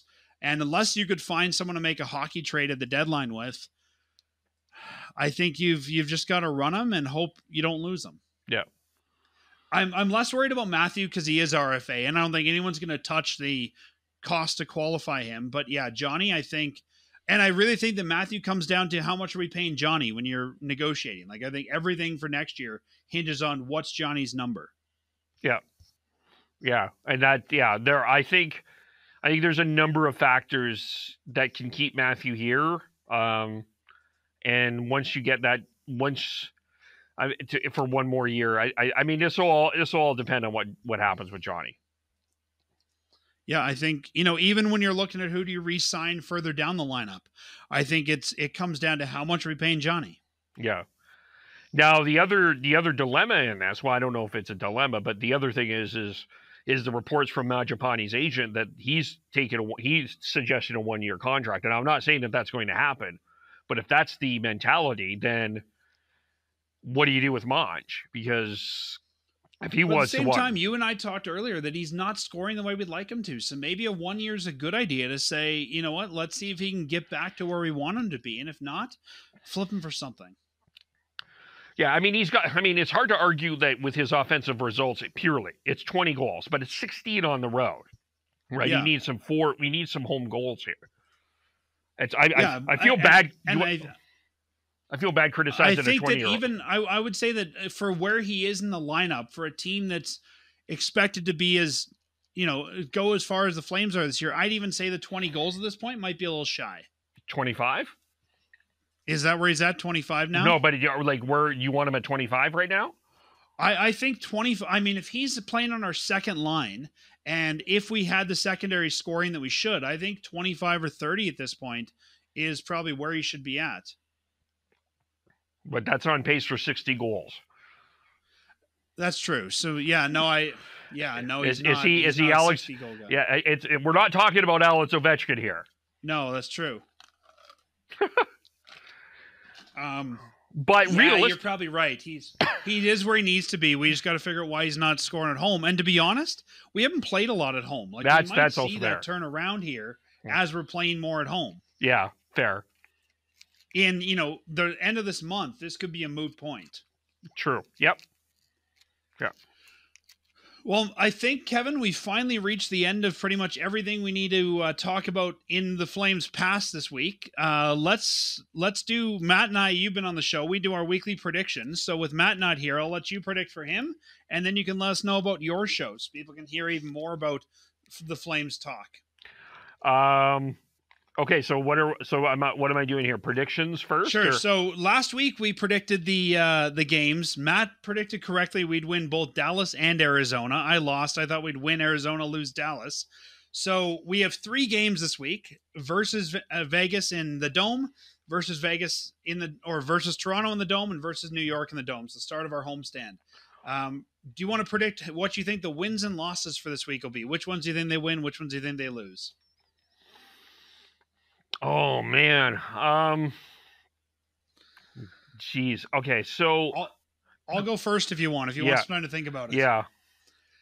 I think the Flames are going to lose Vegas. I think that the six day break may not help them in that case, and we've even seen them come out flat after the breaks in the past. I think they will beat Toronto, and I think they'll beat the Islanders. I think they beat the Islanders. I. This It's a tough week. It, it really is because I it could go either way. Um, Toronto plays well here in in in the West, right? Toronto, I, I haven't looked at their record, but they they they do pretty well out here. But I wonder how much of that is the crowd support. Like when Toronto comes, there's usually a good number of Toronto fans in the stands. And without those fans, I wonder if their powers are going to be muted. Yeah. See, I okay. So this is how I'll say this. I don't know if this is the way that we do predictions, but this is sort of my theory. If they Sure. beat Vegas, they'll beat Toronto. If they lose to Vegas, they'll lose to Toronto. Okay. Um, Vegas, they've they, is Vegas. I that Vegas game. I, I I mean I I wouldn't say it's must win, but that would be a really nice win because Vegas is starting to become that new Anaheim, that old Anaheim, where they're kind of starting to live rent free in Calgary's heads. And I think Calgary, I'd like to see Calgary start making that dent. And you want to get points before. I mean, we don't know what Jack Eichel's going to be in Vegas. I mean, Vegas, but or how he's going to play. But you want to make sure that you have enough points in the bank that just in case Vegas starts flying with Eichel. I also think that I mean Vegas right now is the number one team in our division, and that's the measuring stick. Can Yeah. you beat the best team? At Yeah. some point in the playoffs, you'll probably have to beat Vegas if you go deep. So I think you've got to start beating them now. Yeah. Yeah. Um, I mean, the Islanders could be an emotional letdown from Vegas and Toronto, but that could also be a situation where they have two tough weeks and they just take it out on the Islanders too, right? They could, yeah. I mean, they're on a three-game win streak now. I guess the question is just how does the six days off treat them? Yeah. Yeah. So we'll, we'll I guess we'll find out. Yep. We will. Well, Kevin, I think that wraps up everything we wanted to talk about this week. Um, thanks for filling in for Matt this week. When we put him on the IR, we had to find somebody because nobody wants to listen to me talk about the Flames all by myself for an hour and a half. So why don't you let everybody know where they can hear you talk about the Flames when you're not on our show? So Mondays we talk Canucks on the shifts and pucks, uh, live six thirty Pacific, seven thirty Pacific, YouTube, Twitch, Facebook, and where and it, uh, those places, and then subscribe after wherever you get your audio. We upload it as a podcast format. Uh, Friday, Wednesdays is Flames Talk, 1.30 Pacific, 2.30 Mountain, same channels. So we focus on the Canucks and other NHL on Mondays. We focus on the Flames and other NHL on Wednesdays. Uh, it's Sean, Ken, Tyler, Chris, and I for the Canucks, Sean, Devin, and I for the Flames. And uh, follow us on Shifts and Pucks. Google Shifts and Pucks podcast. You'll you'll find us all there. Um, we've got a contest where you could win some tickets to the Pig and uh, with the Pig and Dukes to the Canucks Flames game in April, and uh, at the Scotiabank Saddledome. So if you're town, that's an opportunity there. We have the word of the week uh, which you can catch on each of the podcasts. Message us, retweet our content, and you can be entered into the contest. And Shifts and Pucks used to be, for those that may have heard your old name, this was the hockey podcast. Yes, we ch- we we we changed the name from the hockey podcast to the Shifts and Pucks. I was the stubborn one that thought the hockey podcast was a wonderful name. I was told maybe we need to change the name, so that's what we've come up with. There you go. So just in case anyone remembers you being on the show in the past from the hockey podcast, not like you got uh, voted out or excommunicated from that podcast. It's the same people, just a different name, different. Same, format. same people, different name. Yes.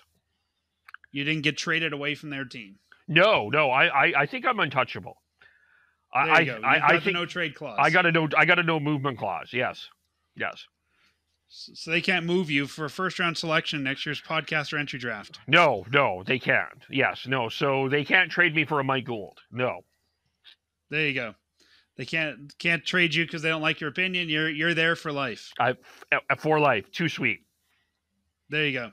All right. Well, thanks for joining us, Kevin. It's always great to chat with you. And I thought some really great discussion this week. As always, if anybody wants to chime in on this, maybe you want to tell us your thoughts on on Zary or Pelletier or any of these guys. Maybe you want to let us know who your disappointment of the first half is or who you're su- pleasantly surprised by. Uh, we're on social media as well, facebook.com slash fireside chat. On Twitter, we're at Fireside Podcast. You can find us on our website, firesidechat.ca. Our YouTube is linked from there. And of course, you can email us, and you can do that through the website at firesidechat.ca. Just hit the contact button, and you'll see both our phone number and our email address if you want to send us a message. So we'd love to hear from you and continue this conversation. Otherwise, I guess I'll do Matt's part at the end of the show. As always, go Flames go. Fireside Chat is hosted by Dan Stevenson, co hosted by Matt DeBorg. This episode produced and edited by Peter Marino. Fireside Chat is licensed under a Creative Commons license. For full license details, visit firesidechat.ca.